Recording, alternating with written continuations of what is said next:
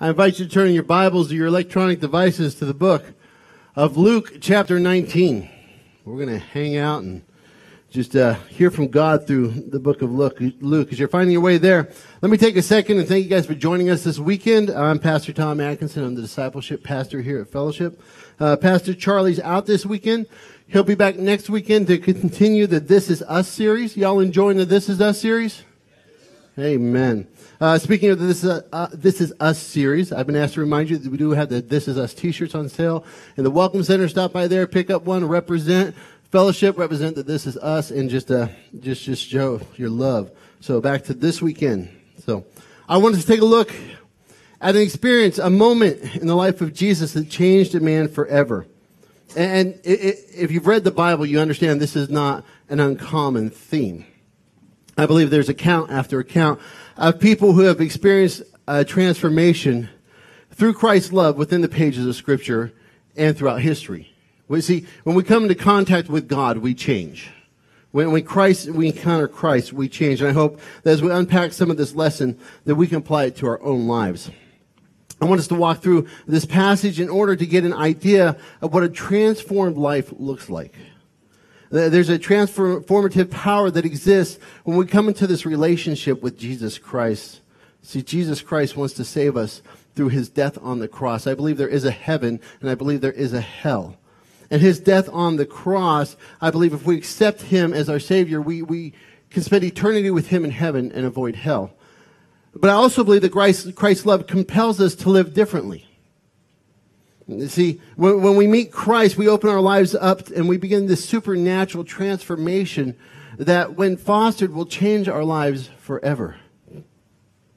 So here's kind of the question we're getting at today is, does your life look different since you met Jesus?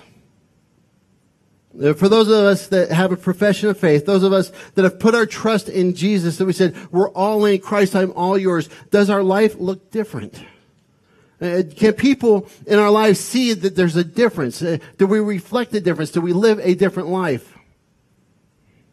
Maybe, uh, I'll go out on a limb, maybe this morning here, this is the first time you're going to hear of this man Jesus.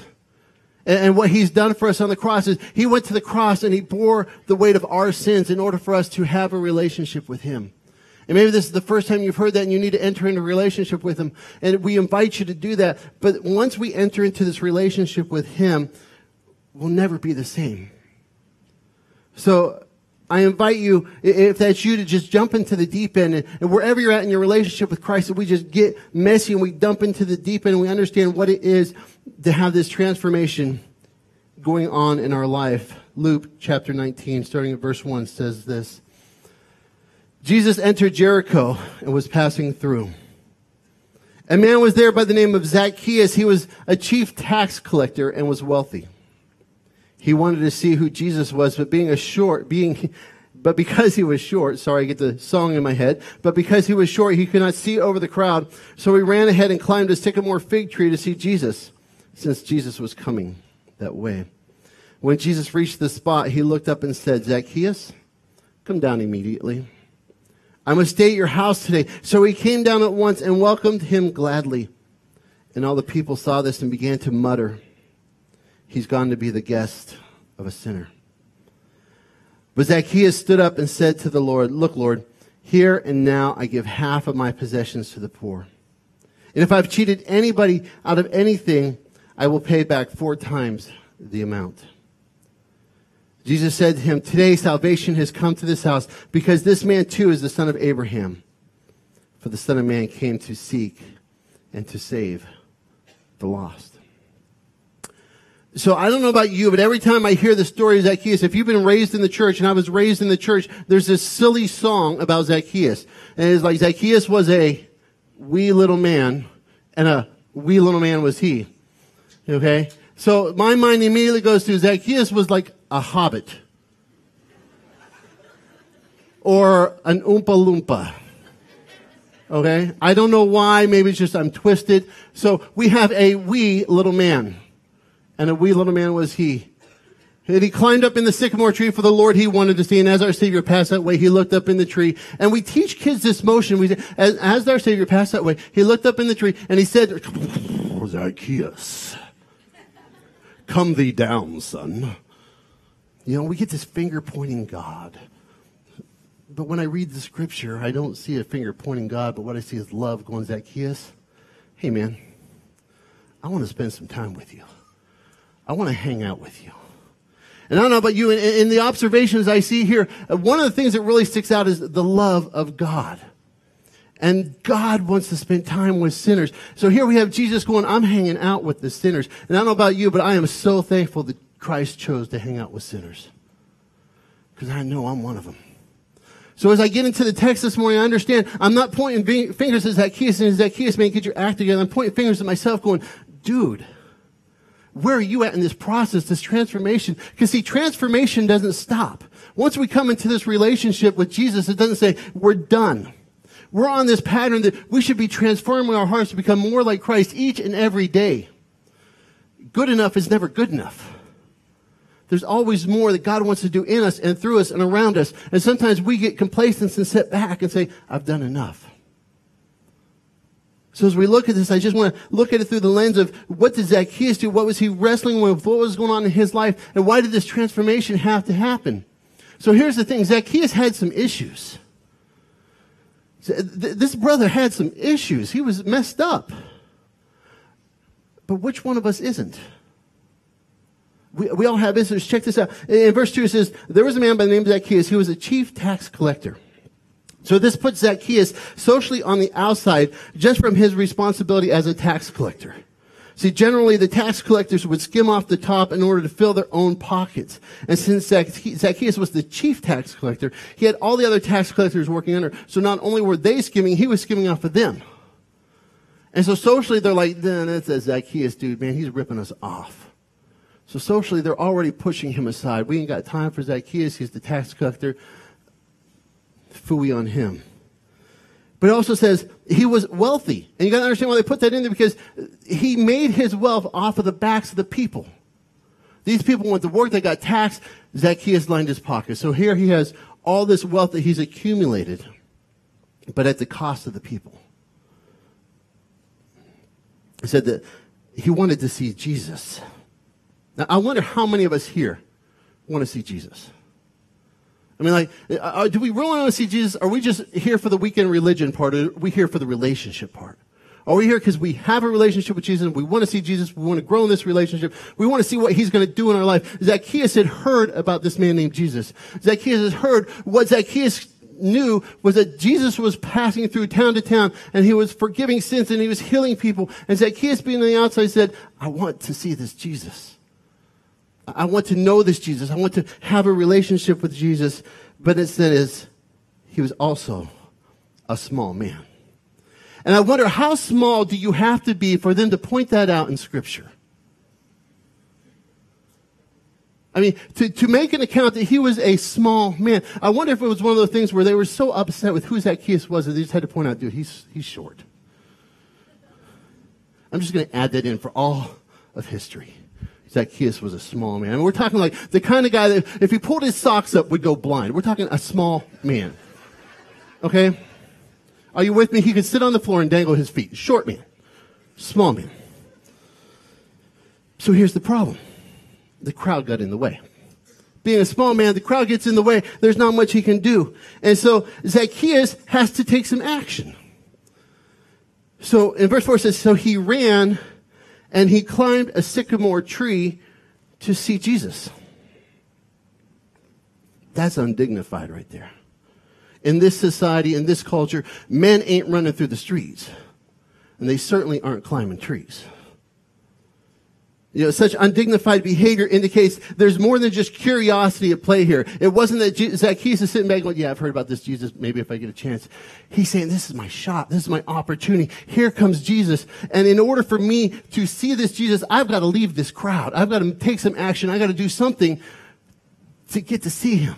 I have to become undignified. Zacchaeus knew that Christ was nearby and that in his miserable state, he wanted something different. This desire to be different was enough to convince Zacchaeus that he needed to do something different, something possibly embarrassing to connect with the Savior. So here we have a grown man running and climbing a tree. I can't speak for you, but unless I'm at a lumberjack competition, anytime I see a grown man running and climbing a tree, that gets my attention. That's something I want to see. If I were at the park today and some dude just took off across the park and started climbing a tree, I'm like, that dude's climbing a tree. And here's where my curiosity and my sickness comes in. I'm going, I bet he'll fall. And so now you got my attention. Going, this dude's climbing a tree. Men ain't supposed to be climbing a tree. When I was a kid, I could climb trees like the best of them. In my state now, you don't want to see me climbing a tree. There's the visual for you all. Y'all just put that in your.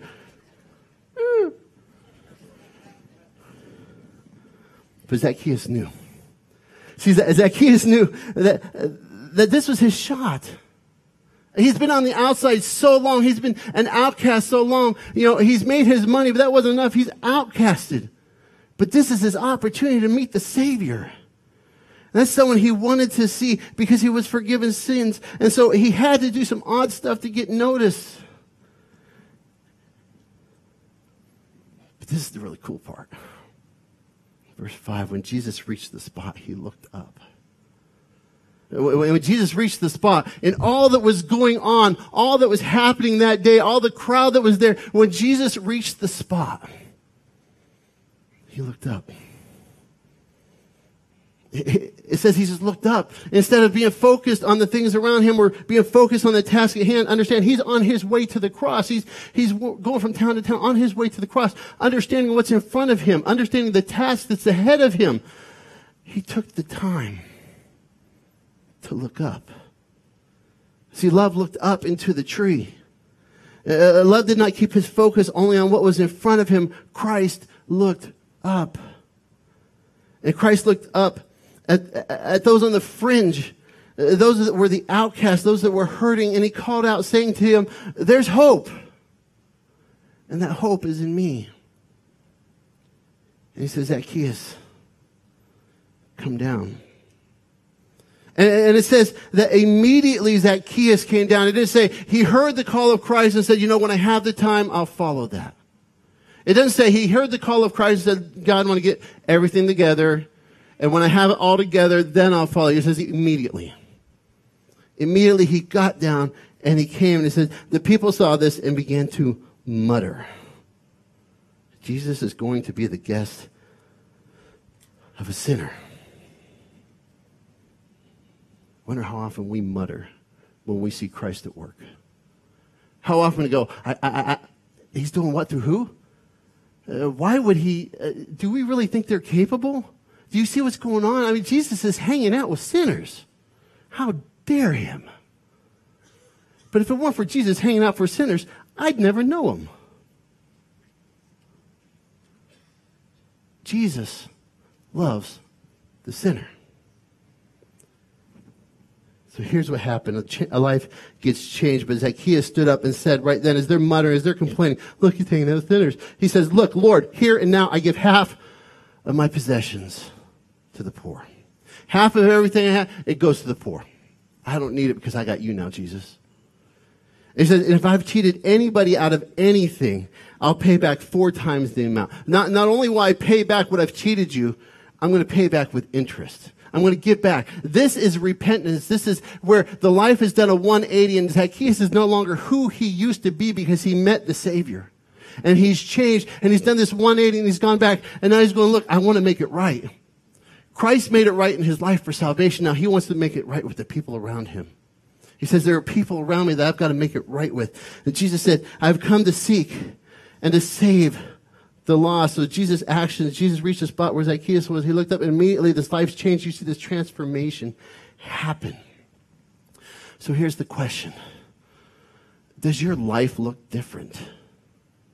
Since you came into this relationship with Jesus Christ, I'm not talking about a religion that'll have us here weekend after weekend. I'm talking about a relationship that's ongoing every day. Does your life look different since meeting this Jesus?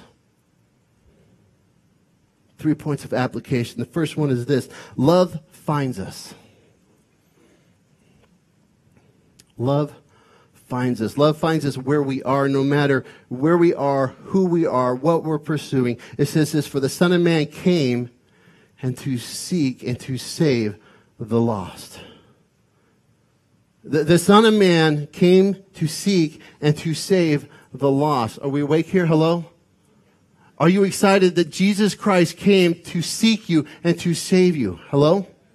We're the, okay, I want to make sure because I'm getting geeked. I'm excited. Jesus sought me and he saved me. He found me. I, I've been in ministry long enough to know that God doesn't wait until we get our act together to pursue us. He's chasing after our hearts right now where we're at. He wants us. He desires to have a relationship with us. Christ finds us right where we are in the midst of all our chaos and all of our crud. And Christ calls us to be a part of this incredible plan that he's established since the beginning of time. The truth is, uh, we, we were never lost. We, we were never lost. Scripture tells us that God knew us and he formed us. See, we're not here by chance. See, Christ's love calls us into this personal, growing relationship that has us wanting to serve Christ greater than serving ourselves. But here's what we do we chase after the things of this world instead of the creator of this world. See, to Christ, wealth doesn't matter. Rich or poor, God looks uh, God love, God's love looks beyond what we may think is important. Jesus didn't care if Zacchaeus was wealthy. Jesus didn't look up and say, Zacchaeus, you've got the wealth that I need. I could use you, Zacchaeus, because you're loaded. See, Zacchaeus spent his life acquiring worldly wealth, but he lacked Jesus. And Jesus just looked at him and said, I want to spend time with you. I want to hang out with you. If Zacchaeus were alive today, he'd probably be the type of guy who'd be working hard to overcome both his social status and his physical stature. With all the money he had, he, he could never overcome his height or his social status. But to Christ, wealth didn't matter. Physical appearance didn't matter. Zacchaeus was short and he need, we, we need to overcome these boundaries that we, we put up between us and God. We, we keep building these boundaries saying, if only I had this, if only I did that, you know, I'd be good enough. Well, folks, we're already good enough. We're already good enough. We were good enough when Christ went to the cross. And so we need to overcome these boundaries that keep us from experiencing a relationship with Christ, whether it's physical, emotional, spiritual. We all have issues. We all have stuff. And uh, what does it mean to overcome these boundaries? It doesn't mean that, that we'll never have stuff there. What it means is that we seek a way of overcoming these obstacles. We overcome obstacles when we believe that Christ is big enough, powerful enough, and loving enough to help us through whatever stands in our way.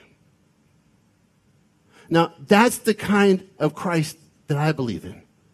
I believe in a Christ who's, who's big enough, powerful enough, and loving enough to help me get through whatever's standing in my way. I, I love the idea of a big God because if my God were small, if my Christ were small, that I could just condense him and put him in my pocket and take him out on the weekends, that's not a Christ big enough to worship. And when I worship God, when I worship Christ, I want a God so big that I don't understand everything about him, that, that I'm amazed by him, that I'm turned upside down by him. I want a God so big that my problems are nothing to him.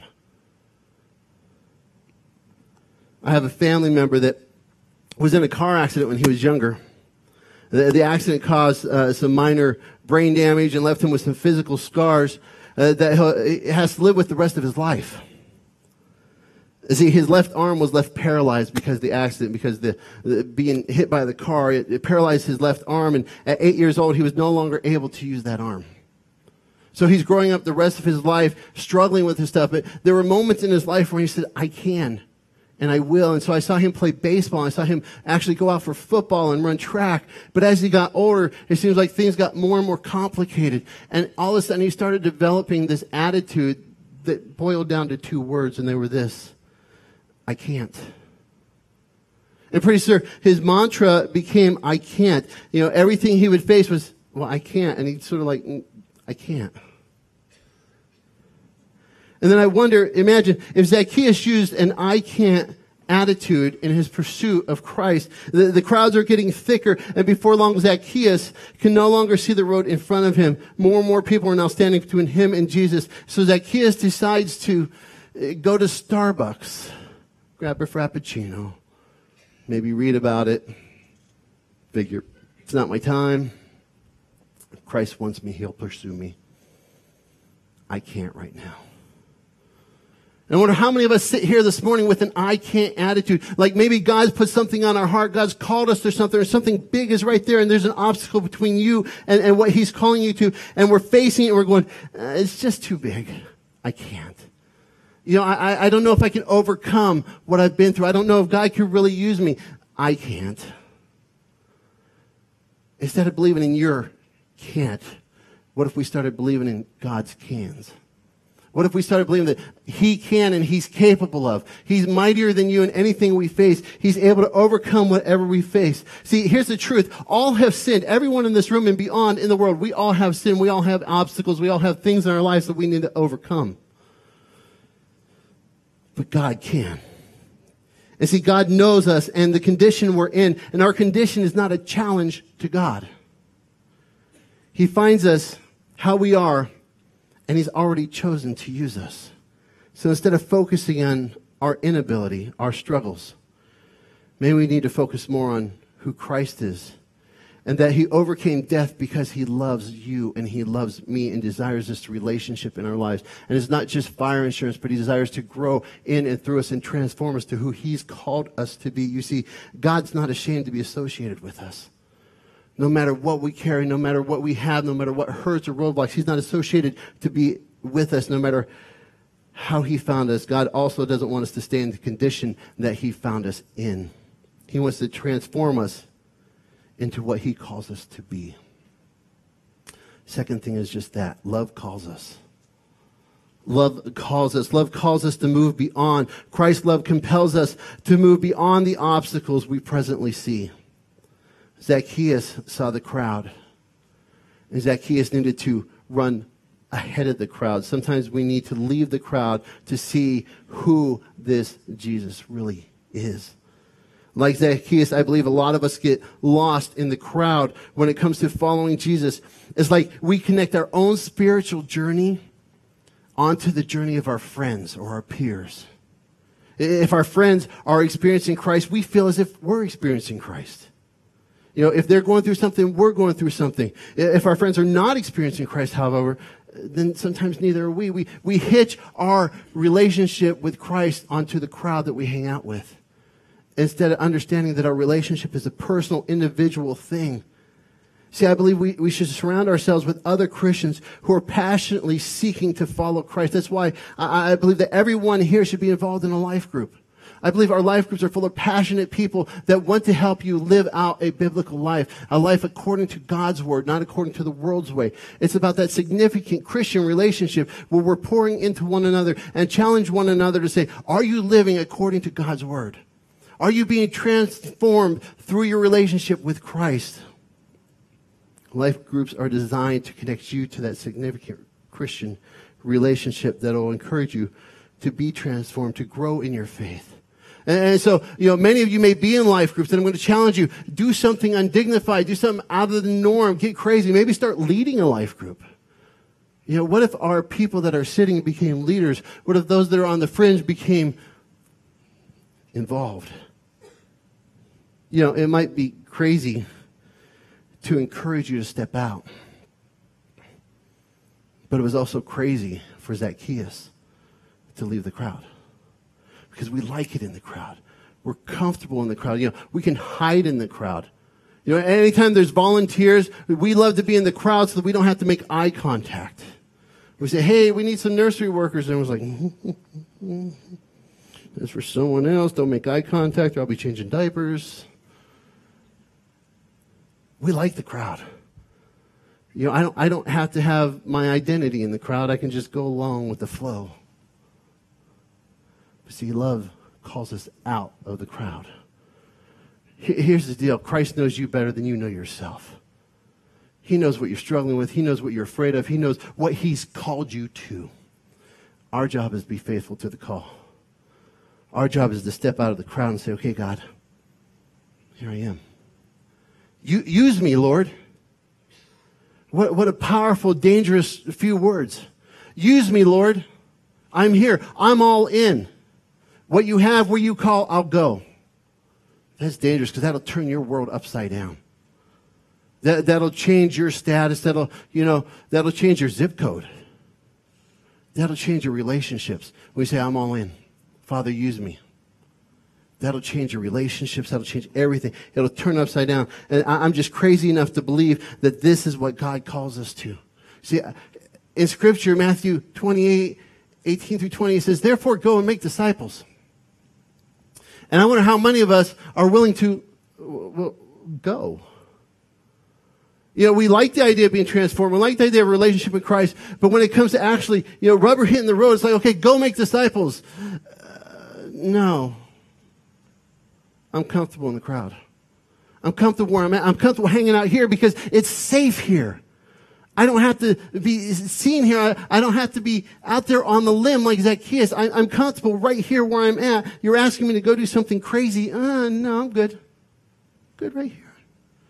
Doing my thing. But then I wonder. I wonder what our communities would look like. I wonder what our, our neighborhoods would look like if we passionately, you know, left these doors, walked out these doors and said, you know what? God used me.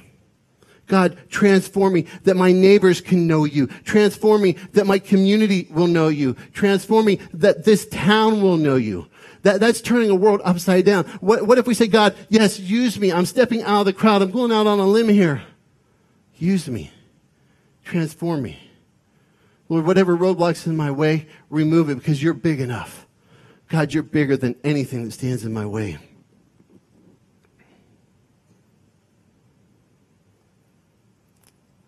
Zacchaeus had heard of Christ. And I believe in his social struggle, he had to get beyond that. And love called him and changed him so Zacchaeus developed a new reputation. In this moment of transformation, instead of being wealthy, he became heir to the throne, the child of the king of the universe. Instead of being short, he became perfect, perfect for this world and for all of eternity. See, his height wasn't an issue. His faith was the issue. And instead of being a face in the crowd, he became a standout. All the faces in the crowd that day, Christ hung out with Zacchaeus. Last point is this love changes us. See, when we, we, we come into this relationship with Christ, it changes us. We cannot go back to who we used to be. We have to keep pressing forward to who He's called us to be. Zacchaeus there in verse 8, you know, as they were muttering, stood up and said, Look, Lord, here and now I give half of my possessions to the poor, and if I've cheated anybody out of anything, I'll pay it back. This is the picture of transformation. This is that repentant heart of saying, I, I, am turning from how I was. I no longer want to be that person. I'm going to be somebody new. I want to be transformed, Lord. And it's only through you that I have the power to be transformed.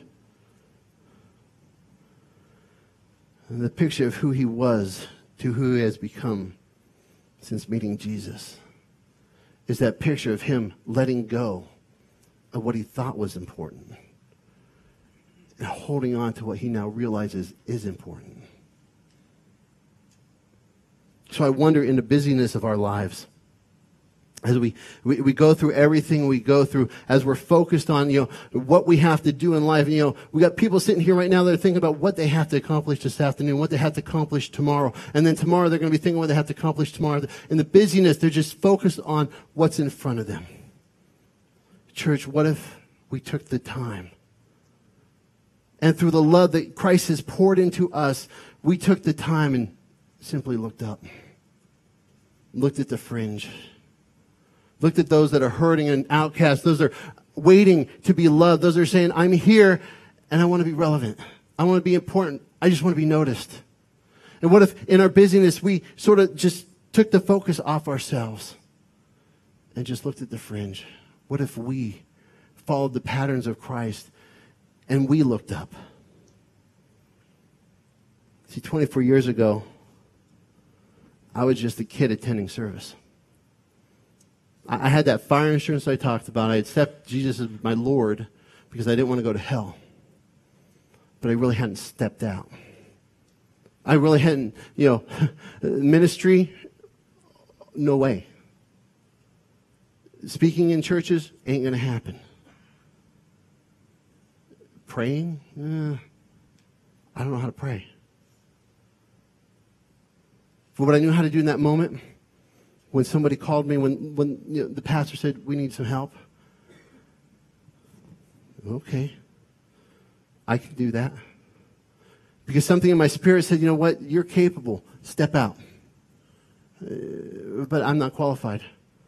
Well, you don't have to be qualified to follow Jesus. You just have to be obedient to follow Jesus. So I stepped out and I took that step. And I took the next step. I took the next step and the next step and the next step. And I don't know what steps are ahead of me, but here's what I know. Each and every one of us sitting here this morning has another step. See, this transformation process doesn't stop. This goes into our last breath. We're not done being transformed to being like Christ. We're not done being transformed to be more like Him. But here's what we do. We say, enough is enough. I'm good enough doing what I'm doing. Well, people around us are dying and going to hell. We're good enough. We have the answer, but we're good enough. Church, where are you at? Is your life look different since you met this Christ? Are you living a life that's different? Are you stepping out? Are you growing in your faith? Do you understand who this Christ is that called you? So, what's your transformation story? Have you met this Christ? Has He forgiven you? Because all you have to do is ask. Has He set you free? Well, what about those you run with, your crowd? Are they encouraging you? Are they, are you, feeling empowered to serve Christ as you were designed? Are you stepping out or are you still stuck in a crowd that doesn't care? See, when Jesus called Zacchaeus down, here's the cool thing is that he responded immediately. And that I, I believe all of us have to respond immediately because the minute we say, I'll do it later, later never comes. It's like we keep pushing it off. But when it comes to our relationship with Christ, he says, you know, he's calling us.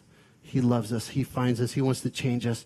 And sometimes it's us just immediately responding to that call. And we all have that next step, that next step in that call of love.